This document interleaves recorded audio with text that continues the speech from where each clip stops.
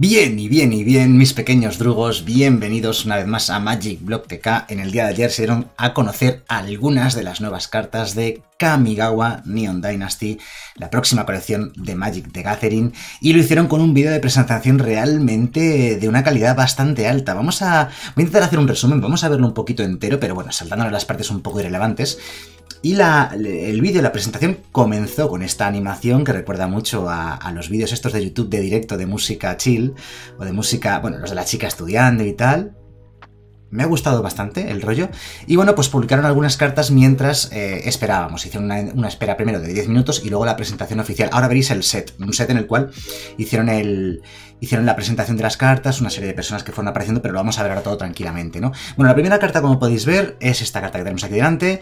Voy a esperar a que la, a que la pongan entera y la pausamos y la vemos mucho mejor. Ahí está. Ira of Enlightenment. Bueno, era of Enlightenment, ¿vale? Eh, a ver, las cartas obviamente no las han publicado en español, así que las vamos a ver en inglés. Al menos estas primeras las tendremos que tragarnos, no las tendremos que tragar en inglés, que le vamos a hacer. Y ya cuando el spoiler esté completo, cuando todas las cartas de la colección hayan sido publicadas, haré el típico y tan esperado análisis de toda la colección, color por color, como hago siempre en todos los sets, ¿no? Bueno, la primera carta es un encantamiento tipo saga por dos primer episodio de la saga o primer capítulo de la saga, adivinar dos, no da ventaja de cartas, es decir, pierdes la carta, digamos. Segundo, dos vidas, al siguiente turno te da dos vidas y al tercero, pues se da la vuelta y se convierte en un 2-2 de daño primero. Realmente una carta que en construido no, no da la talla en ningún tipo de sentido, ¿no? Le falta bastante, bastante ventaja de cartas, ¿no? Bien, la siguiente carta que nos publican, aquí la tenemos, es el Michicos Reign of Es decir, bueno, no voy a traducirlas, que luego voy a saber cómo se traducen. Otra saga, otro encantamiento saga, que eh, cuesta 2 de mana y en el primer turno y el segundo turno le da un contador, no, le da más uno más uno hasta el final del turno a una criatura objetivo por cada artefacto y o encantamiento que controles. Es decir, la propia Michiko's Reign of Truth ya da más uno más uno. Y si tienes más artefactos o encantamientos, pues más más uno más uno. Va a ser complicado que tengas tantos artefactos o encantamientos en los primeros turnos de la partida. Pero bueno, algo interesante es, generalmente este tipo de habilidades son más para limitado. No creo que sea una carta buena para construido. La anterior carta no me parecía nada buena para construido. Y cuando llegas al tercer eh, turno, se da la vuelta. Y cuando se da la vuelta, eh, eh, se convierte en Portrait of Michiko y dice que es un 0-0 con más uno más uno por cada artefacto y o encantamiento que controles. Es decir, se refiere a la combinación de artefactos y encantamientos que controles, ¿de acuerdo? La suma de todos. Eh, ella misma es encantamiento, cuidado con eso. Así que, es que fijaos, es una carta bastante extraña, ¿no? Porque es un encantamiento saga que al darse la vuelta se convierte en criatura, y esto es nuevo. Y la carta en sí sigue siendo encantamiento. Por cierto, la de antes creo que también seguía siendo encantamiento, que no, no me he fijado en el pequeño detalle, pero entiendo que lo sería, ¿no? El caso es que, eh, como mínimo es un 1-1 porque ella ya es un 1-1. Así que bueno, los dos primeros turnos lo que hace es topar un poquito a alguna criatura, y en el tercer turno se convierte en un 1-1 como mínimo, de ahí para arriba. Otra carta que obviamente pues no da el corte para construido, pero bueno, hay que mencionarla porque aquí está, aquí está, ¿no? Siguiente carta. Vamos a verla aquí entera. The Modern Age, la era moderna. Ahí está así, seguramente no me equivoque. Otra saga por dos de maná. Primer turno, robas carta, descartas carta. Segundo turno también, Aquí, aunque tampoco da ventaja de cartas, a mí lo que me preocupa de estas sagas, por lo que no me están pareciendo muy buenas, es que no dan ventaja de cartas de ningún tipo. Es decir, tienes en la primera que hemos visto una carta que pagas 2 de mana y dos turnos después se convierte en un 2-2 que daña primero. La anterior eh, pagas 2 de mana y tres turnos después, dos turnos después, se convierte en un 1-1, que puede ser algo más, pero no has ganado nada por el camino. Y haber estado aquí que dice que por dos, bueno, robas descartas al menos, aunque no es ventaja de cartas pura, sí es manipulación de biblioteca, lo cual tiene un poquito más de valor, al menos en mi opinión. Que ya sabéis que siempre que analizo las cartas o los spoilers es eh, bajo mi opinión. Eh, las opiniones son opiniones, no pueden ser erróneas, ¿vale? Eh, entonces, simplemente tú expones lo que tú crees de una carta y argumentas dicho, dicha opinión, ¿no? Bueno, entonces, cuando se da la vuelta, es un 2-3 vuela. Bueno, en este caso, fíjate, pues has pagado 2 de maná, pero y has hecho algo durante dos turnos, pero tienes que esperar mucho para obtener un 2-3 vuela. Son cartas, a ver, que en construido no van a ser jugables, no las vais a ver en estándar, en alquimia o en histórico, ninguna de estas cartas. En limitado tampoco son la bomba, pero bueno, en limitado supongo que son jugables esos drafts y esos sellados que, que jugaremos, ¿no? Siguiente carta, Life of Toshiro Umezawa por dos, otra saga, que en el primero y en el segundo turnos eliges una de las tres opciones que hay. Más dos, más dos a una criatura, menos uno, menos uno a una criatura, o ganar dos vidas. Me parece bastante mejor esta de aquí. El... para construido, quiero decir, siempre pensando en construido, ¿vale? Siempre que analizo las cartas eh, hablo de construido. El más 2 más 2 a una criatura en construido seguramente no sea demasiado útil, pero la opción para un mazo de control, pensando para un mazo de control, la opción de menos 1 menos 1 a una criatura, posiblemente mates a alguna criatura, cabe la posibilidad. Y si no tiene criaturas que puedas matar al rival, pues ganas dos vidas dos veces, ¿no? Y luego al tercer turno, bueno, cuando llegas al tercer turno, se convierte en una criatura que es un 2-3, que lo puedes girar, pagar una vida para añadir mana negro, o sea que da mana, ¿no? Solamente para lanzar instantáneos o conjuros. Eh, tampoco es una carta que sea buena, pero la veo mejor que las anteriores, porque al menos tienes la posibilidad esa para mazos de control de matar alguna criatura pequeña, ganar algunas viditas y luego obtener una criatura que digamos que te da mana extra para jugar grandes hechizos de conjuro de instantáneo, que son lo que suelen hacer los, que es lo que suelen hacer los mazos de control cuando llegan esos momentos de la partida, ¿no? Eh, pusieron una carta cada minuto, esta es la siguiente, de Shattered States Era, por 5, saga, Primer turno ganas el control de una criatura objetivo, la enderezas y gana prisa, ¿vale? Típica carta de traición, de robarle criatura al rival, perfecto. En el siguiente turno, todas las bueno, luego se la devuelves, claro, al final del turno. En el siguiente turno, todas tus criaturas ganan más 1 más 0. Y cuando se da la vuelta, pues es un 3-3 arrolla prisa. Realmente la carta, pues. Eh me gusta, me gusta el primer lo que hace el primer turno, pero cuesta 5, es mucho mana para lo que hace después, que bueno, es un más 1 más 0 a tus, tus criaturas, que seguramente no sea muy relevante. Y luego es un 3-3 arrolla prisa. No me parece mala del todo, sinceramente. Quizás de las mejores que hemos visto hasta ahora, junto a la negra anterior, pero es lo mismo. Eh, no me parece mala para construido, pero de ahí a que se juegue hay un mundo, ¿no? No creo que se vaya a jugar ninguna de todas estas sagas que estamos viendo. Es interesante, como mínimo, este tema de las eh, sagas que se convierten en criaturas después, ¿no? Aquí tenemos Azusas Many Journeys, eh, que bueno, en el primer turno te permite jugar una tierra extra, en el segundo ganas tres vidas, y eh, luego se da la vuelta y se convierte en un 3-3 que siempre que sea bloqueado enderezas tres tierras. Eso no va a ocurrir prácticamente nunca, lo que endereces tres tierras estaría bastante bien. Y bueno, has pagado dos de maná para obtener un 3-3, te has podido acelerar el primer turno si tenías tierras de sobra en mano, te ha dado tres vidas, pero al fin y al cabo es una carta poco concreta y, vuelvo lo de antes, no da ventaja de cartas. Has pagado dos para que dentro de dos turnos más tengas un 3-3 básicamente, ¿no? Y lo que hace entre medias es bastante flojillo, ¿no? Yo no, veo estas cartas que vayan a ser jugadas en, estándar, sinceramente. Boseiju, Boseiju, Rich Skyward. Riches Skyward. Bueno, el caso es que otra saga eh, de coste 4 en el primer turno. Esta sí que es buena realmente, yo creo que esta es de las buenas. En el primer turno, por 4 de mana, te busca dos tierras básicas de bosque y las pone en juego. Me imagino que giradas. Ah, no, te las pone en la mano, entonces no he dicho que sea, entonces olvidadlo. Pensé que las ponía en juego giradas como tantos hechizos. Generalmente, a ver, en Magic no es la primera vez. Hay muchos hechizos de coste 4 que te buscan dos tierras y la ponen en juego directamente, pero es que estas las ponen en la mano. Sí que es ventaja de cartas, pero no es lo que tú esperas de un hechizo de este estilo, que es que te rampee, que ponga ese mana extra en juego para poder jugar grandes hechizos más adelante. Luego en el segundo turno, el siguiente turno, lo que hace es poner una de esas, eh, una, una tierra de tu cementerio en el top del mazo. ¿Por qué iba a haber una tierra en tu cementerio? Esa es la duda, ¿no? Entonces muchas veces este segundo capítulo no va a hacer nada, ¿no? Y luego se da la vuelta y es un bicho de fuerza y resistencia tan grande como el número de criaturas, de, perdón, de tierras que controles con alcance. Que como no se acelera en el primer turno, pues tampoco tienes por qué ser, porque tienen que ser mucho más de 6 tierras, normalmente 6-7 tierras.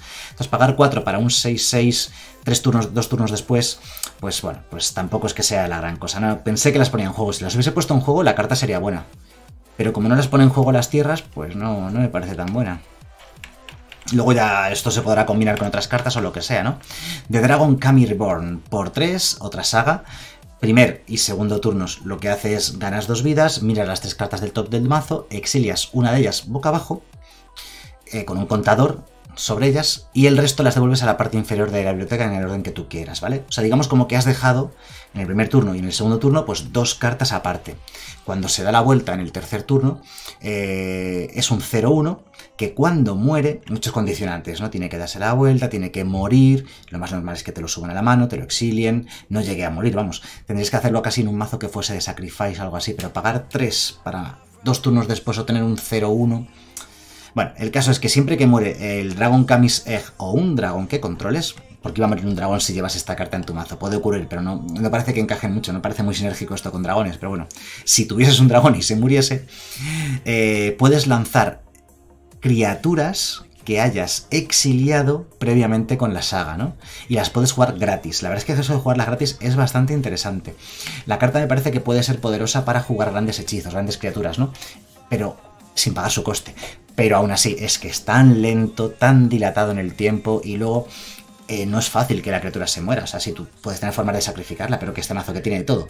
Tienes sagas, tiene formas de sacrificar criaturas y luego tienes criaturas grandes que quieras jugar gratis con, el funcionamiento de la saga. Otra carta que no, la veo. Es rara, por cierto, pero no, no le veo mucho futuro.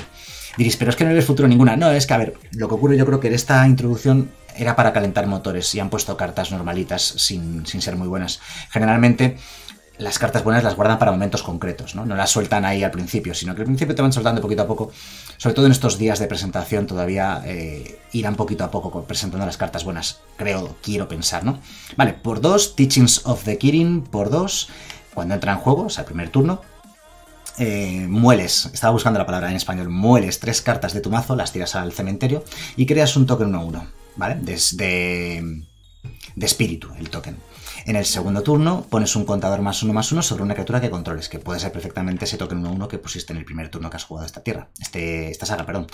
Y luego cuando se da la vuelta, como podéis ver aquí a la derecha, es un 1-1 que siempre que ataque eh, puedes exiliar una criatura de un cementerio y crear un token 1-1 de un cementerio que puede ser el tuyo o el del rival. ¿Vale? Si exilias una criatura, pones un token 1-1. La otra opción es exiliar una carta que no sea de criatura en un cementerio y si lo haces pones un contador más uno más uno sobre una criatura que tú controles. Como podéis ver, es un poco lo de antes, ¿no? Es una saga, va a tardar varios turnos en ponerte una criatura cuyas habilidades tampoco son la bomba. Y lo que hace mientras tanto la saga tampoco es muy bueno. Eh, no quiero que penséis que estoy negativo, es que esto ya me pasó con la colección anterior. Es que es cierto que hay muchas cartas que no pasan el corte de la jugabilidad. Y estas en particular no lo pasan, pero hay que entender que en Magic el 80% de las cartas no se van a jugar. Es así, o sea, te sacan una colección que tiene 300 cartas, sabes que se van a jugar 60 de esa colección. Bueno, 60. se van a jugar 30 cartas, el 10% de las cartas de la colección se van a jugar. Y dices, no, pues hay muchos mazos, tal. Sí, hay muchos mazos, pero es que hay 5 colecciones en estándar. Y las 5 colecciones, coges el 10% de cada una de ellas y es lo es estándar. Si acaso es, si llega, que a lo mejor, a lo mejor habría que echar cálculos de eso, porque lo mismo ni siquiera llegan los cálculos que estoy haciendo. Y por último, de Kami War, la guerra de los Kami.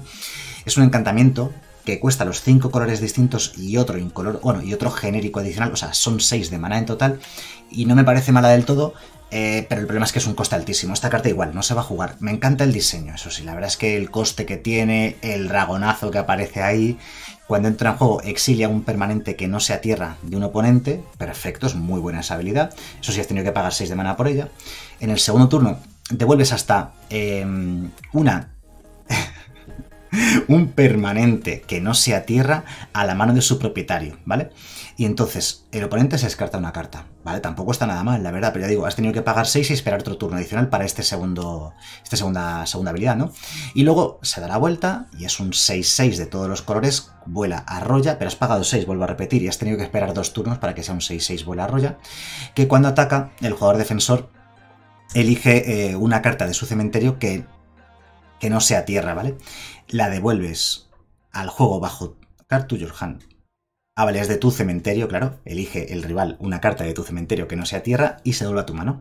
Y el Okagachi Made. No, Made, lo estaba leyendo en japonés. El Okagachi Made Manifest eh, gana más X más 0, donde X es el coste de esa carta. Seguramente sea una carta de coste 1, de coste 2. El rival elegirá la carta de coste más bajo posiblemente para que este dragón no sea demasiado grande cada vez que ataca. ¿no? Pero digo, es muy costoso. Cuando entra en juego sí que hace algo que es bueno pero lo de siempre, hay cartas que hacen cosas similares de una forma mucho más eficientes, que luego no son tan poderosas, pero no hay que esperar tantos turnos para que hagan sus, movidas, ¿no? Así que bueno, ahí está. Y aquí es donde ya empieza el vídeo en sí, lo presenta Dave Walters, pues nada, encantado, no sé quién será. La chica esta que lo hace súper bien, es muy buena presentadora, la verdad. Ah, bueno, y aquí para que veáis la, el setup. La verdad es que les ha quedado bastante bonito y da bastante el pego. Yo al principio pensé, ala, que CGI, que, que, bien, que bien han hecho el croma y tal. Y luego espérate, si es que no es un CGI, no es un croma.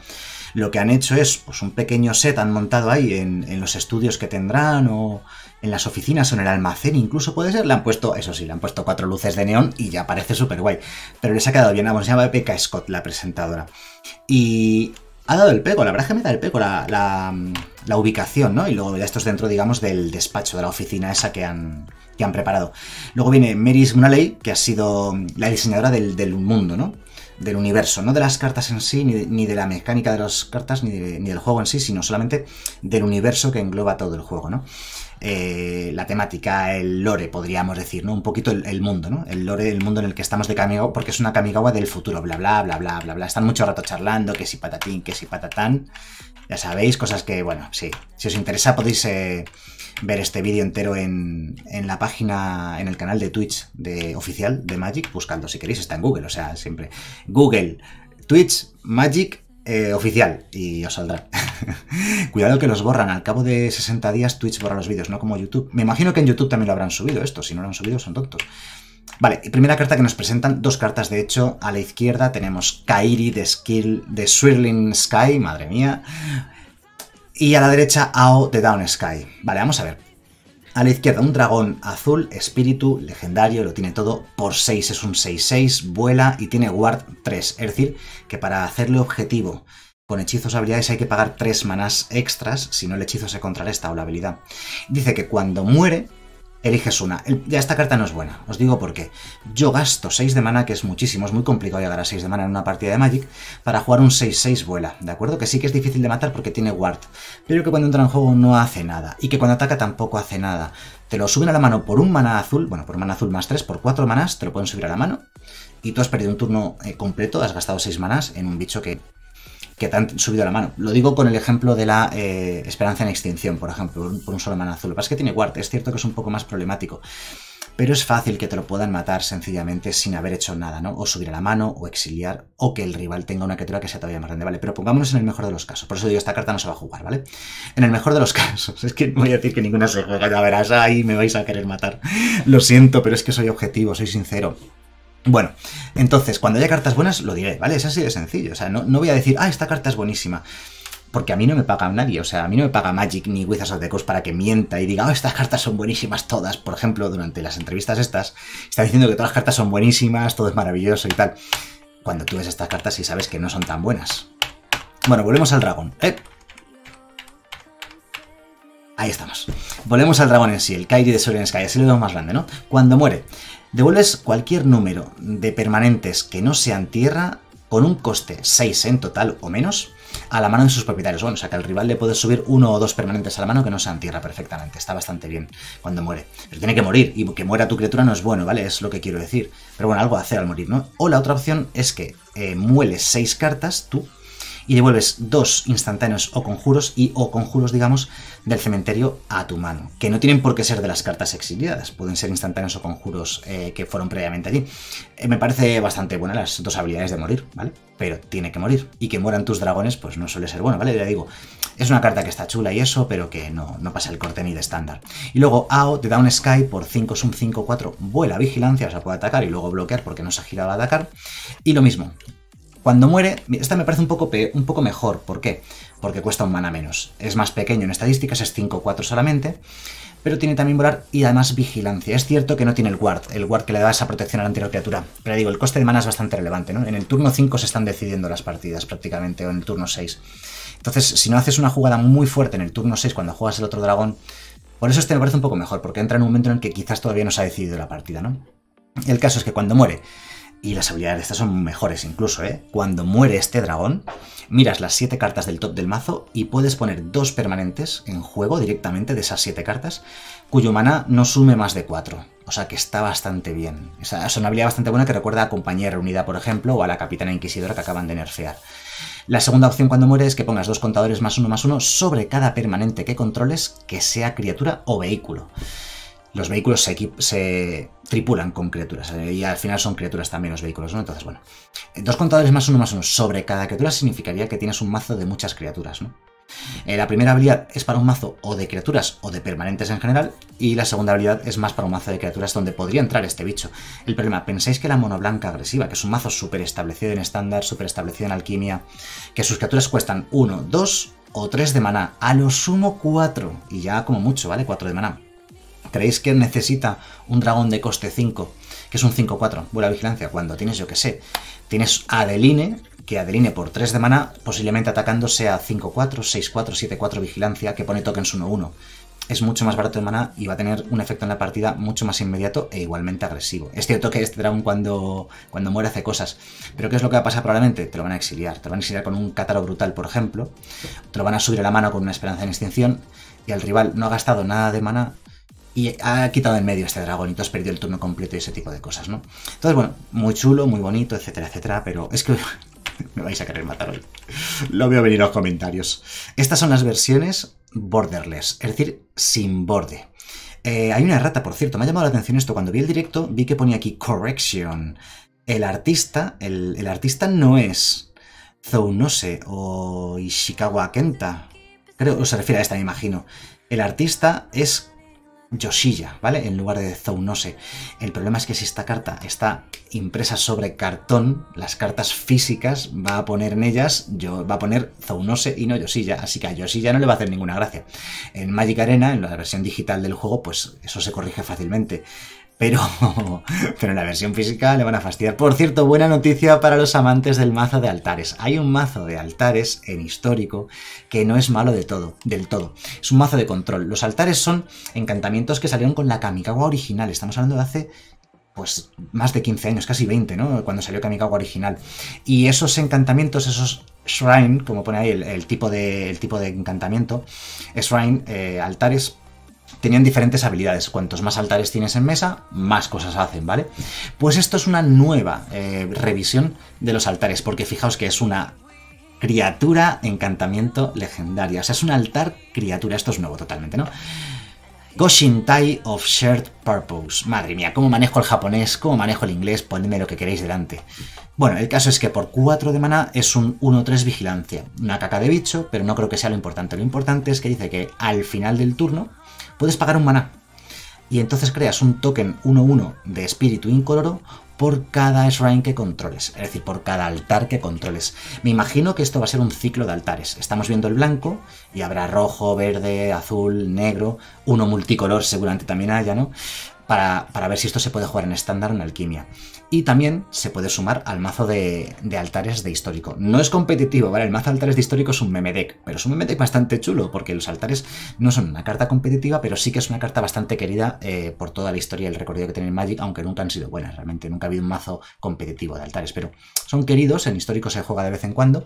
De hecho, se pudo jugar en estándar el año pasado, porque estuvieron en estándar algunos altares, y este, bueno, pues reaviva un poco la llama de los altares, lo cual siempre, siempre mola, ¿no? Bueno, bla, bla, bla. Mira, aquí están explicando un poco el mundo, ¿no? Pues tienes eh, Towashi, leo el nombre en español porque prefiero leerlo en español. Towashi, eh, bueno, Minamo, o sea, las diferentes eh, ubicaciones del mundo de Kamigawa, artes.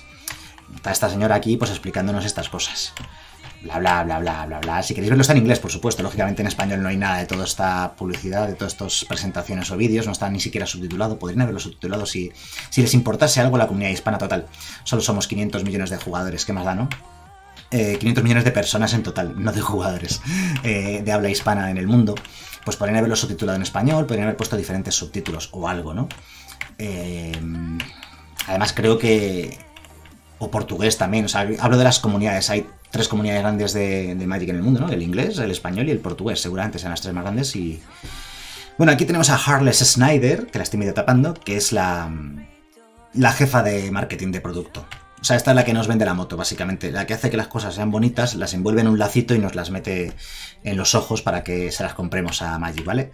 Básicamente su trabajo es intentar engañarnos, resumiendo, ¿no? Y Kaito Shizuki, carta que ya vimos porque hace cosa de un mes hicieron un pequeño adelanto, si os acordáis, de tres o cuatro cartas de Kamigawa. Así que estas no me voy a poner a analizarlas otra vez y a explicarlas porque ya las comentamos en su día. Las dejo un momentito para que las podáis leer tranquilamente quienes os manejáis en inglés y quien no, pues que vea el vídeo antiguo que ya lo, lo comentamos en su momento. Y además esta carta la comentaré cuando esté la colección completa, que comentaré todas las cartas de la colección de nuevo, ¿no? One more time. Esta sí es nueva. Kyodai Soul of Kamigawa. Por 4 es un dragón, espíritu, legendario. 3-3 vuela flash, eh, es decir, eh, destello, ¿no? Se llama en español, destello, sí. Es decir, la puedes jugar a velocidad instantánea. Por 4 un 3-3 vuela, aunque tenga destello, sigue siendo una caca. Vamos a ver qué dice después. Cuando entra en juego, ya lo sabéis, lo digo siempre. Si una carta entra en juego y no hace nada, siempre va a ser peor que una carta que entra en juego y se hace algo, ¿vale? Entonces, esta sí me, me gusta cómo empieza. Cuando leo eso de cuando entra en juego, eso suele ser bueno porque la carta hace lo que hace pero es que además al entrar en juego ya hace otra cosa adicional, o sea, ya es como un 2x1, digamos, ¿no? Bueno, pues cuando entra en juego, eh, otro permanente, que no sea el Kyodai Soul of Kamigawa, gana indestructible mientras controles a Kyodai. ¿Qué significa esto? Esta carta es buena, esta carta me parece bastante decente. No sé si algún mazo la va a... Eso sí, vuelvo a repetirlo de antes, no creo que ningún mazo la vaya a querer jugar. Pero, ¿me van a destruir una criatura, o un Planeswalker, o una tierra, o se me va a morir una criatura en combate? Hago Kyodai en respuesta o lo que sea, le doy indestructible y no se muere. Cuando acabe el turno, la carta ya no ha sido destruida, ya no importa que sea indestructible, así que si te matas en el Kyodai más adelante tampoco importa. En ese sentido me parece que está bien, por 4 son 3-3 vuela, destello, te puede proteger un permanente de ser destruido y luego la habilidad es el problema. Eh, la habilidad cuesta 5 colores, eso sí, da más 5 más 5 a esta criatura. Dudo que vaya a haber un mazo pentacolor, Vale, o sea, eso sí la realidad, o sea, no va a haber un mazo pentacolor en estándar o en alquimia. No lo va a haber porque ninguna carta requiere esto, ninguna carta que sea realmente buena. Kyodai no es buena, sencillamente. Y no hay otras cartas pentacolores eh, que requieran, oh, voy a montarme un mazo pentacolor en estándar en alquimia. Y el otro problema es que la base de mana no es perfecta actualmente. No hay forma de buscarte tierras, no hay, forma, no hay buenas formas de, elegir las tierras que necesitas en cada momento. Sí que es cierto que hay fichas de tesoro, pero no creo que tú quieras crearte un mazo orientado a fichas de tesoro para gastarlas en dar más 5 más 5 y que te maten esto en respuesta. Por ejemplo, te lo suben a la mano, ¿no? Y pierdes todas las fichas de tesoro. Entonces, la carta no está mal, no creo que se vaya a jugar, pero bueno, está, está interesante como mínimo, ¿no? Aquí tenemos el diseño alternativo. El diseño alternativo, guapísimo, guapísimo. Me encanta, el diseño alternativo me parece buenísimo. Borderless, ¿no? Sin, borde, como ya hemos visto alguna antes. Bueno, vamos hacia adelante. No creo que me haya... No, no, es imposible que me salte alguna carta porque voy de 10... No, voy de 5 segundos en 5 segundos hacia adelante. The Wandering Emperor. Emperor. Por 4, Planeswalker. Entra con 3 contadores de lealtad. Tiene destello. O sea, lo puedes jugar al final del turno del rival. Lo puedes jugar en la fase de ataque tuya. Lo puedes jugar en cualquier momento que puedas jugar instantáneo. Eso es muy bueno. Y dice que... Cuando, em, Mientras haya entrado este turno, este Planeswalker, en juego, puedes activar sus habilidades de lealtad, que se llaman así, como si fuesen instantáneas. ¿De acuerdo? Es lógico porque la carta tiene destello de que te serviría jugar al turno del rival si no puedes aprovecharla, ¿no? Bueno, sí que aprovechas el maná, no te has girado previamente, pero bueno, es, lógico y muy bueno también, ¿eh? Eso es muy bueno. El problema, bueno, el problema no es un problema, tampoco es tan mala esta carta. ¿eh? Esta carta yo creo que sí va a haber juego. Porque la primera habilidad da un contador más uno más uno y dañar primero a una criatura tuya. Es decir, yo sí veo mazos con blanco agresivos que quieran jugar esto desde un punto de vista agresivo para una fase de combate, me bloqueas, te bloqueo, tal, a velocidad instantáneo, metes el Planeswalker, le pones un contador más uno más uno y le das un contador más uno más uno, le, das un contador de lealtad, perdón, más uno y le das un contador más uno más uno y dañar primero a una criatura tuya, de modo que seguramente ganes el, el combate. Y eso lo veo bastante útil, ¿no? Ya sé que pagar 4 de mana por este truco de combate es poco, pero esto no es solamente un truco de combate, es un Planeswalker que se va a quedar en mesa con cuatro contadores de lealtad. O, fijaos que el menos uno pone un token 2-2 de... ¿qué? De Samurai, ¿no? Vale, de Samurai. con vigilancia. Es lo mismo, puedo pagar 4 de mana al final del turno del rival, meto el Planeswalker en mesa, hago el menos uno, solo menos uno, está bastante baratillo, ¿eh? Se queda con dos contadores de lealtad y he puesto un 2-2 vigilancia además del Planeswalker. Es decir, esta carta hace un 2 por 1 automático. Eh, me parece que es bastante buena. Yo creo que esta carta sí que va a haber algo de juego, ¿no? Y luego el menos 2, o sea, tiene una tercera habilidad, no tiene una habilidad definitiva de estas de menos 7 que haces mil cosas, no. Tiene otro menos 2 que exile una criatura que esté girada, lo cual le da uso también en control. Em, y además ganas dos vidas. Realmente esta carta es bastante buena. Esta carta es bastante buena. La pueden jugar los mazos agro, la pueden jugar los mazos de control. El menos 2 es bastante bueno contra, para mazos de control contra agro, ¿no? El menos uno es bueno en general en un mazo de criaturas y el más uno es muy bueno en fases de combate. wow, me parece que es muy buena esta carta. Esta carta creo que sí que va a haber, bastante juego en estándar e incluso en alquimia y que va a estar, va a estar dando guerra durante mucho tiempo. ¿eh? Muy buena, no es una carta de prohibición, pero desde luego, de todas las que me he visto hasta en el vídeo, la mejor para mi gusto, de Wandering Emperor y seguro que se va a jugar, estoy segurísimo. Esta carta tiene que haber juego. Si no se juega de, a ver, de primera, se va a jugar seguro porque la gente prueba estas cosas. Si luego pasa de moda y deja de jugarse, seguro que acaba volviendo. O sea, es una carta que tiene muchísima calidad, muchísima, muchísima. Luego tenemos eh, Tethered Betrayer of Flesh, traidor de la carne, supongo que lo traducirán. Planeswalker, Tethered, azul, por 4, entra con 4 contadores. Eh, la primera vez que actives una habilidad de un artefacto, cada turno, Cuesta dos menos activar esa habilidad. Esto me parece brutal. Hay artefactos que, hacer que el coste se reduzca en 2 es como reducirlo a cero, básicamente, algunos artefactos. Ahora mismo en estándar no hay muchas burradas que yo... Ah, tendría que repasar la lista de artefactos de estándar. La primera vez, ¿vale? La primera vez, cuidado, no puedes hacer aquí combos locos de infinitos y tal. Pero es como que das... Es como si este Tezeret, si tienes artefactos, y vas a tener artefactos porque Tezeret siempre es un Planeswalker que funciona con artefactos, eh, vas a poder activar, digamos, es como si CCC te diese dos de maná gratis para activar artefactos cada turno, ¿vale? Básicamente, podríamos resumirlo en eso. Empieza bastante bien, la verdad, y por cuatro entra con cuatro contadores. El primera, la primera habilidad da el más uno. Robas dos cartas y te descartas dos cartas, excepto que te descartes un artefacto. O sea, encima da ventaja de cartas y buena manipulación, ¿eh? El primer más uno me parece bastante bueno. Esta carta, esta carta es buena, ¿eh? Esta carta puede dar bastante guerra.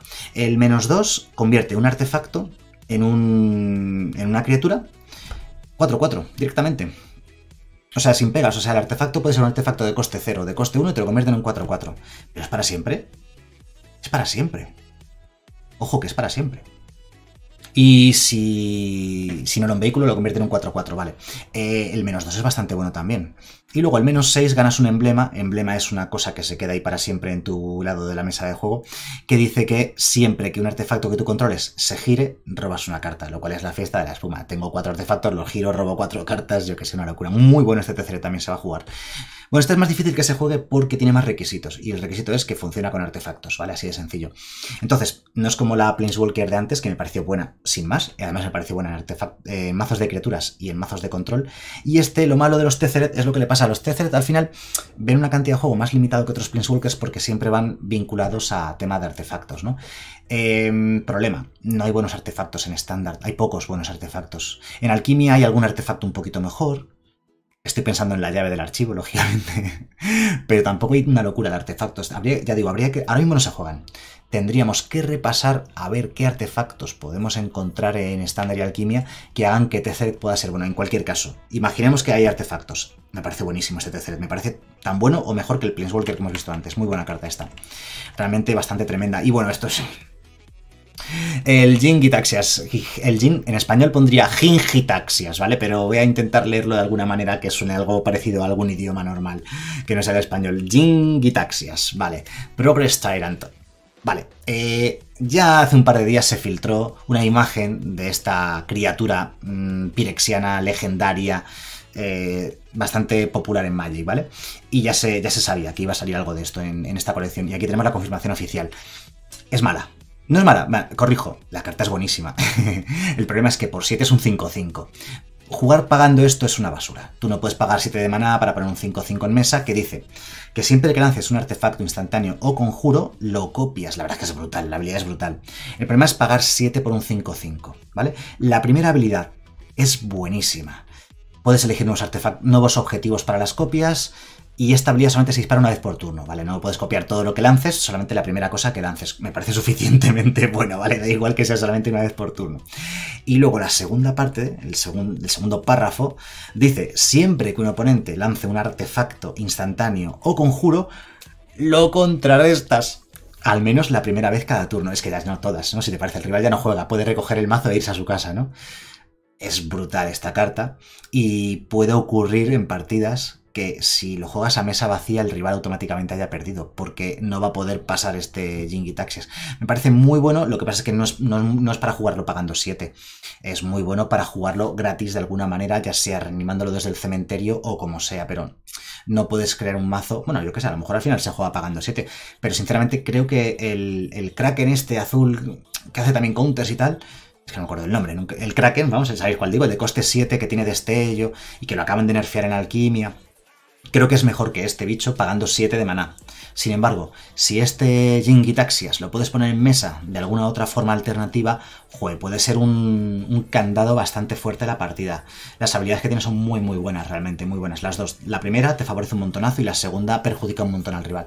Así que la carta creo que es bastante poderosa y creo que va a haber juego, ¿eh? sinceramente. Bueno, aquí tienes la versión pirexiana. Esta escritura es la escritura pirexiana, inventada, ¿vale?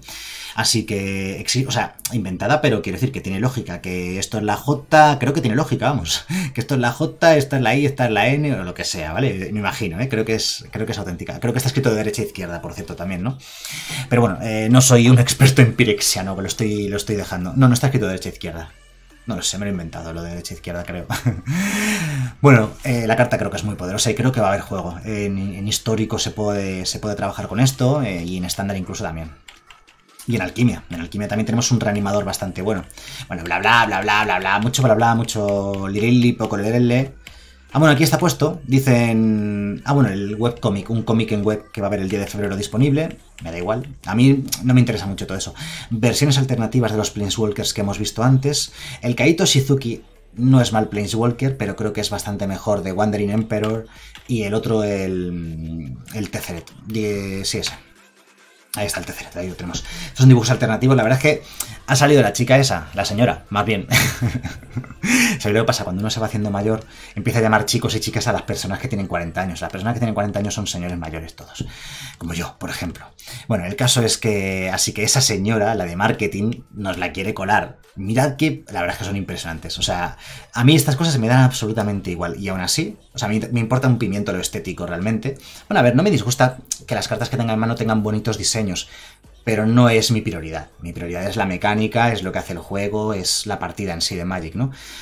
Hay que reconocer que, son unos cracks. Hay que reconocer que son visualmente espectaculares las tres cartas y estas versiones alternativas, borderless, dice aquí, eh, sin borde, son realmente alucinantes. Me, están, me han encantado. O sea, impresionante las tres. Cómo se lo montan y cómo se lo curran. Pero aquí tenemos entonces las tres versiones de Wandering Emperor, a cada cual más bonita. La que menos me gusta es la de la derecha, sinceramente. Me quedaría entre la original y este dibujo. ¿Sabéis lo que pasa? Que a mí me gustan mucho más los dibujos no realistas. Y este dibujo es realista. Y creo que si estamos viviendo en un mundo de fantasía, tratar como si fuese real no me acaba de cuadrar. Me gusta mucho, a mí ya mi estilo, me gusta mucho más ver este dibujo es de fantasía, de un mundo de fantasía. Y tratar de intentar imaginarte que esto es la realidad o el mundo real, pues me parece un poco... Me gusta menos el estilo, digamos, me gusta más este. La verdad es que si tuviese que elegir una de las tres, elegiría la del centro. Seguro que ahora viene un psicólogo y me dice, no, eso es porque te la han puesto en el centro y te, te funden la mente. Espectaculares también estas dos eh, cajas de texto de las cartas. Soft Glow, le llaman aquí, el texto, el nombre que le han dado a este, a este estilo. Por cierto, todas las cartas de ninja de la colección también tienen una caja, una versión alternativa especial de ninjas. Espectaculares, vamos, o sea, esto de la derecha, una mezcla aquí entre Alien y Terminator, chulísimo. Y igual, es todo muy chulo. La verdad es que me gusta bastante. Muy, muy, han quedado, les han quedado muy bonitas. Saben cómo vendernos las cartas. las tres versiones alternativas. Bueno, las, la versión oficial de Tesseret y las dos alternativas. En Magic Arena tendremos la de la izquierda y supongo que habrá alguna forma de conseguir las otras dos en Magic Arena. Para empezar, todo este producto son para Magic físico, ¿vale? Hidekutsu de Burning Chaos, carta que ya vimos hace cosa de un mes cuando presentaron la, por primera vez la colección con un adelanto de cuatro cartas, que bueno, no es una carta que sea especialmente buena, pero Hidekutsu, bueno, lo que sí vimos fue esto precisamente, la versión alternativa que tenemos a la derecha que llaman Soft Glow y luego las versiones Neon, Neon Ink Foil, Ink se dice ink, ¿verdad? En inglés no se dice ink. se dice ink, ink, se dice ink. neon ink foil, o sea, como simulando neón. En un principio a mí no me gustó mucho y por lo que leí por ahí a la gente en Twitter, en redes sociales, tampoco gustó mucho. Al menos con esta carta es una auténtica horterada, el verde, el azul y el rojo no... Pero bueno, hay que experimentar y hay que probar cosas nuevas y desde luego la, cosa es nueva, ¿no? O sea, no la habíamos visto nunca en Magic. Bueno, aquí están las cuatro versiones eh, Neon Ink foil de la carta. Bueno, más cartas por aquí. Bueno, empezamos con el tema ninjitsu. Vamos a ello. Tenemos Silver Fur Master, la rata ninja. Tenemos aquí al maestro Astilla. Vale, rata ninja. Por dos es un 2-2. Voy a leer lo de abajo del todo. Lo primero, todas las, todos los ninjas y ratas que controles, los otros eh, ninjas y las otras ratas que controles, tienen más uno más uno. Genial. Genial porque ya tenemos mazo de ratas o de ninjas. Para empezar, ya tenemos el comandante de las ratas o de los ninjas que da más uno más uno, que no es legendario, por tanto puedes jugar varias copias y dan varios más uno más unos, así que genial. A todos los eh, ratas y ninjas y el mismo es rata ninja, así que funcionaría ese más uno más uno para ella también. Así que con dos Silver Full Master tendrías dos 3 3 digamos. Voy a leer hacia arriba. Las habilidades de ninjitsu cuestan uno menos de activar y tienen ninjitsu por sí misma, por azul negro. La habilidad de ninjitsu es, si tú atacas con una criatura, y no es bloqueada, puedes jugar una criatura con ninjitsu de tu mano, girada y atacando, y devolverte la criatura no bloqueada a la mano. La idea, a ver, no tiene mucho sentido con algo que cuesta 2, más que por pillar por sorpresa al rival y dar más uno más uno al resto de tus criaturas, lo cual no está mal. Pero la idea del ninjitsu es que tú hagas un ninjitsu que cuesta un maná, el ninjitsu para poner en mesa una criatura que cuesta 5, por ejemplo. Ahí es donde mola el ninjitsu, ¿no? Pero también mola como en este caso para trucos. La carta me parece muy buena, muy muy buena y que, ¿sabéis a qué me recuerda? Azul negro, el año pasado que teníamos en estándar azul negro, bribones. ¿Y qué tienen los bribones? De hecho, los bribones había, eh, había una carta con ninjitsu dentro de bribones. Lo que pasa es que no ponía la palabra ninjitsu, pero tenía la misma habilidad que llamaríamos ninjitsu, que era Zaret-san. Zaret-san se jugó poco en el mazo de bribones, pero me recuerda mucho a la temática de bribones por los colores y por las habilidades de ninjitsu y por los trucos de combate, porque al fin y al cabo el poder meter este Silver Full Master eh, a velocidad instantánea mediante el ninjitsu atacando y tal, es un poco para pillar por sorpresa al rival eh, y dar más uno más uno a tus otros eh, a tus otras ratas y ninjas. Me gusta bastante y ojalá haya mazo de ratas ninjas o de ratas o de ninjas o de lo que sea que recuerde un poco al mazo de bribones, pero sin ser quizás tan frustrante como el mazo de bribones porque tenía demasiados counters y hacía muy frustrantes algunas partidas de Bribones. Pero vamos, Bribones ha sido uno de los mejores mazos de los últimos años. Recordaba un poco al antiguo mazo de Hadas, porque Hadas también era azul-negro, con contrahechizos, Bribones lo mismo. Los ninjas huele a que va a ser algo parecido. Me gusta la carta, me parece muy buena y esta carta va a haber juego casi seguro, ¿no? Me imagino que habrá alguna rata o algún ninja que sea bueno. ¿Veis? Esta es el, la caja que van a poner para todos los. Para todos los ninjas, ¿no? El estilo de carta. Ah, bueno, lo pone además, estilo de carta ninja, directamente. Lo pone en la parte debajo de la carta. Vale, vuelve Boseiju, Boseiju, Who Endures. Esta tierra es buenísima. Es legendaria. No entra, o entra enderezada directamente, lo digo porque muchas tierras con habilidades buenas entran giradas. Esta no, está entra enderezada y da verde. Perfecto. La pega es que es legendaria, no te metas cuatro en un mazo porque no vas a poder jugar la segunda si tienes una idea de mesa. O sí, o, es, o sí porque esta sí que te merece la pena llevar 4. Porque tiene una habilidad que se llama Channel, que básicamente es pagas el coste, que en este caso es 2, y la descartas de tu mano. Y entonces destruye artefacto, encantamiento o tierra no básica. Es buenísima. Es buenísima. No es ni siquiera un hechizo, no puede ser contrarrestado porque es una habilidad. Esta tierra la tengo en mano y tiene la habilidad de pagar 2 y descartarla. Habilidad. No, no es un hechizo lanzado, no puede ser contrarrestado. Salvo que haya un contrahechizo de habilidades, ¿vale? Que los hay. Pero es muy raro, muy raro. De hecho, casi. Hay muy poquitos, vamos, casi ninguno. Vale, tiene una pega, ¿vale? Lógicamente, porque si fuese eso sería brutal. La carta sería buenísima porque la puedes jugar como tierra, la puedes usar para destruir cosas, sería buenísima. Vale, entonces, em, solamente destruye cartas del oponente, que sean artefactos, encantamientos o tierras no básicas. Tierras que se convierten en criatura, tierras con habilidades, es buenísimo. Poder romper tierras, además se activa, supongo que a velocidad instantánea. A ver, a ver. Sí, no dicen nada las habilidades, por defecto, se pueden activar a velocidad instantánea, salvo que se indique lo contrario, no se indica lo contrario. Lo puedo hacer al final del turno del rival cuando activa su tierra en su turno en cualquier momento, ¿no? Eh, pues buenísima. La pega, la gran pega, aparte de que sea solamente al rival, es que eh, ese jugador puede buscar en su mazo una tierra eh, con un tipo de tierra básico, los tipos de tierra básicos son que tiene que poner en la carta bosque, montaña, isla, eh, pantano, eh, llanura, lo que sea, ¿vale? Pero que tiene que poner uno de esos cinco tipos de tierra básicos. En, el, en la caja de texto aquí pondría land, bosque, land, forest, land, isla o lo que sea, ¿vale? Bueno, pondría tierra si fuese en español, ¿no? Con que ponga aquí esto ya tiene tipo de tierra básica, que no es lo mismo que una tierra básica. Una tierra básica es un bosque, o una isla, donde pone aquí isla arriba, ¿vale? Pero hay tierras que no son básicas, pero tienen los tipos de tierra básica, no sé si me explico, es bastante habitual, de hecho en Magic, si os fijáis, si ponéis a buscar un poquito tierras de Magic, vais a encontrar montones de tierras que no son básicas, porque básicas son 95, pero que sí que tienen uno de los tipos de tierra básica. Pero es que además esta habilidad te puede costar un mana menos si controlas una criatura legendaria. Realmente esta Boseiju Endures me parece tremendamente buena, y no veo un mazo verde que no quiera llevar por lo menos dos o tres copias. O sea, porque no te va a costar nada y seguro que algo te llevas por delante. Y si te sobra en mano, la puedes ciclar. Me ha dado pena que no puedas hacerlo con tus permanentes, porque la podrías usar para acelerar. No sería demasiado buena. La tierra la pone en juego y la pone enderezada, ¿no? El rival. Cuidado que no lo había comentado. Busca una tierra una carta con un tipo de tierra básica y la pone en juego enderezada. O sea que pueda aprovechar el mana. Es una pega, lógicamente, ¿vale? Pero la carta es muy buena. Esta carta se va a jugar seguro. No sé, eh, no sé, no me imagino ningún mazo verde que no lleve una, dos, tres copias de esta Boseiju.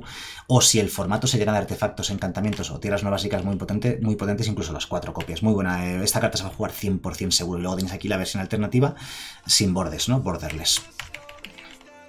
Vale, eh, ya lo hemos visto antes, de Kami War, la hemos comentado, la saga, porque ya salía al principio en la presentación. La versión alternativa me gusta muchísimo. Ah, no, no es la versión alternativa, perdón, no he dicho nada. Me gusta muchísimo el diseño de la carta, ya lo he comentado antes. ¿O si es la versión alternativa? Sí, sí, sí, sí, es verdad, es verdad. No tiene el mismo dibujo, digo, el el dibujo no me cuadraba. Vale, me gusta mucho más este dibujo incluso. Este dibujo me gusta más. Y luego, alguna carta de más normalita, como este Enthusiastic Mechanaut. Es, es un mech, es un. es algo así, ¿no? Bueno, Goblin, cuidado, Goblin Artificiero es una criatura artefacto que cuesta 2, es un 2-2 vuela y que hace que tus artefactos cuesten uno menos de lanzar, ¿vale? Ya está, ya tenemos el mazo de artefactos, ya tenemos el mazo de Tezeret. Este bicho es muy bueno, ¿vale? Por 2 un 2-2 vuela, que reduce el coste de alguna carta, en este caso de los artefactos, es muy bueno. Y él además es, artefacto, con lo cual continúa la temática. Ya digo, si hay un mazo de artefactos muy jugado, esa Boseiju que acabamos de ver antes, va a haber juego, ¿no? Muy bueno este Enthusiastic Mechanaut y lo vamos a ver jugar seguro sería raro que no hubiese un mazo de artefactos porque parece que están poniendo bastante chicha en el tema de los artefactos, así que es probable que haya mazo de artefactos. Vale, siguiente carta, el Surge Hacker Mech, otro mech. Por 4 es un 5-5, pero cuidado, porque es que es un vehículo, ¿de acuerdo? Para que se convierta en criatura hay que tripularlo sumando fuerza 4 de tus criaturas enderezadas, ¿vale? Giro criaturas hasta sumar fuerza 4 con mis criaturas, entonces es un 5-5. O sea, como vehículo no es bueno, ¿vale? Tiene amenaza y aún así no es bueno, pero cuando entra en juego, y lo que comentaba antes, eh, hace daño igual al doble del número de vehículos que controlas a la criatura o Planeswalker objetivo, bueno, que controla un oponente, ¿no? O sea, solamente tienes un, vehículo como él, pues hace dos daños, ¿vale? Porque tienes un vehículo, pues hace el doble de daño, hace dos daños a una criatura o Planeswalker. No me parece muy bueno. Nunca va a haber un mazo que lleve cinco vehículos o tres vehículos o dos vehículos. O sea, el vehículo en sí no es bueno.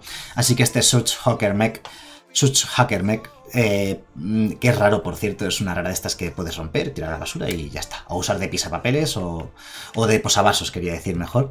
Y ya está. Una pena que tengamos que, gastar un hueco de rara en esta carta. Pero si no lo hacen, te ponen esto como... Te ponen el Goblin como raro y ya está. ¿Sabes? O sea que bueno, es lo que hay, ¿vale? Magic es así. Esta carta no es buena. Uh, muy buena esta temática, muy buena la carta. Ojo, que es un Goblin Samurai. Me parece brutal el dibujo. Y, la, y, el, tipo de que un Samurai Goblin me parece increíble. Goro Goro, Disciple of Ryusei, el discípulo de Ryusei. Por 2 es un 2-2 que pagando un mana rojo le da prisa a todas tus criaturas. Es una habilidad bastante buena, de hecho quiere decir que por 3 de mana tienes un 2-2 prisa como mínimo. Y luego le puede dar prisa al resto de criaturas que vayas jugando, o a, bueno, ya sabéis, a todas las criaturas que entren en juego. La habilidad es buena. La habilidad de poner uno rojo a dar prisa a todas tus criaturas es bastante buena. Y luego puedes pagar 5. Esto me parece absurdo, me parece muy buena esta carta, ¿eh? muy muy buena. Es legendaria, ¿vale? Pero bueno, me parece muy buena. Puedes pagar 5 de mana para crear un dragón espíritu 5-5 con la habilidad de volar. Actividad que solo puedes. Actividad. habilidad que solo puedes activar si controlas una criatura atacando, que esté atacando en ese momento, ¿vale? Y que esté modificada. Y esta palabra clave es nueva. Las cartas modificadas son aquellas cartas que están equipadas de alguna manera o que, están, que tienen anexado o un equipo o un aura o que tienen contadores sobre ellas. Vale, ya sé que es difícil, que es mucho más complicado que una criatura tenga un equipo o un aura puestas pero es muy fácil que una criatura tenga un counter. Se va a decir que esas criaturas, las criaturas que tienen o un, contador encima, o un equipo, o un aura, son criaturas modificadas. Así que si controlas una criatura atacando que esté modificada, puedes pagar 5 y crear un dragón 5-5. Así porque sí, la carta es bastante buena. Verá juego, va a ser complicado, no por los requisitos, sino porque aprovechar esta habilidad cuesta muchísimo mana y tienes que tener una criatura atacando que esté modificada. No creo que sea complicado el, tema de modificar porque los contadores más uno más uno, los contadores de todo tipo están a la, orden del día, hace más contadores. Em, y que esté atacando, bueno, pues es un mazo rojo, ¿no? Es mazo con rojo va a estar atacando siempre. El problema es que hay que pagar 5 de mana y es mucho mana. Pero bueno, por 2 tienes un 2-2 que puede dar prisa a las otras criaturas. O sea, tiene potencial de juego. Aquí no me atrevo a decir que se vaya a jugar con seguridad, pero la carta es chulísima, la mecánica es muy bonita y, está guay que creen un nuevo tipo de, mecánica como es el tema de las modificaciones, ¿no? que una criatura esté modificada. The Reality Chip, el, chip de la realidad, bueno, pues por dos es, bueno, esto es nuevo también, ¿eh? Es una criatura artefacto legendaria equipo, un equipo criatura. Los equipos los conocemos de toda la vida, bueno, hace muchos años, desde la Mirrodin original, por cierto, bueno, desde la segunda colección de Mirrodin, por cierto, desde Dark Steel, Acero Oscuro en español, la segunda colección del primer bloque que hubo de Mirrodin, quiero decir. O estaban también en el primer, eh, la primera colección. No, en la primera colección de Mirrodin original ya había equipos, cierto, ya había equipos. Luego en Dark Steel es que cuando sacaron los equipos ya buenos de verdad. Y en Fifth Down, peor todavía, mejores todavía. Bueno, yendo al grano, tienes por 2 es un 0-4, ¿de acuerdo? Que te permite mirar el top de tu mazo todo el rato. Eso es bastante bueno, ¿eh? La verdad es que mirar el top de tu mazo te puede ayudar a, bueno, busco o no busco carta, eh, quiero robar o no quiero robar la carta de arriba, puedo elegir, está guay saber lo que vas a robar el siguiente turno para tomar decisiones también durante la partida. La verdad es que está bien, por 2 un 0-4 con una habilidad decente al principio, pero que puedes pagar su habilidad de reconfigurar, que es nueva habilidad, nueva mecánica, Pagando 3, la puedes anexar a una criatura que controles. Digamos que equipa a esa criatura, se convierte en un equipo. Bueno, no, es un equipo. Y se puede anexar a una criatura o desanexar de una criatura, cosa que los equipos no pueden hacer. Los equipos no se pueden desanexar de una criatura. Una vez que están equipados a una criatura, solamente pueden equiparse a otra criatura, pero no se pueden desanexar sobre la mesa otra vez de vuelta. En cambio, esto sí. Bueno, y dice que, y aquí viene el texto que está en medio, ¿no? Mientras de Reality Chip está eh, anexado a una criatura, puedes jugar tierras y lanzar hechizos desde el top del mazo, lo cual es una burrada. Esta carta es buena. Esta carta es buena. No sé qué tipo de mazo podría llegar a aprovecharla, pero es muy buena y veo muchas probabilidades de que acabe viendo juego. Por 2 es un 0-4 que está bien para bloquear criaturas del rival y tal. Lo malo es que para un mazo de control que no suelen llevar muchas criaturas, eso de reconfigurar, es decir, anexarlo a una criatura, pero si esos mazos no suelen llevar criaturas pagando 3 es lo que quizás un poco más me descoloca. Pero esta carta la veo bastante buena y con bastante potencial. Yo creo que algo de juego puede llegar a ver, ¿eh? La veo bastante interesante. Bueno, la versión alternativa que el dibujo parece pues eso, pues un anime o, bastante, bastante típico, ¿no? Eh, queda bastante chula, la verdad, el soft glow que pone ahí debajo, ¿no? No sé si nos queda algo más.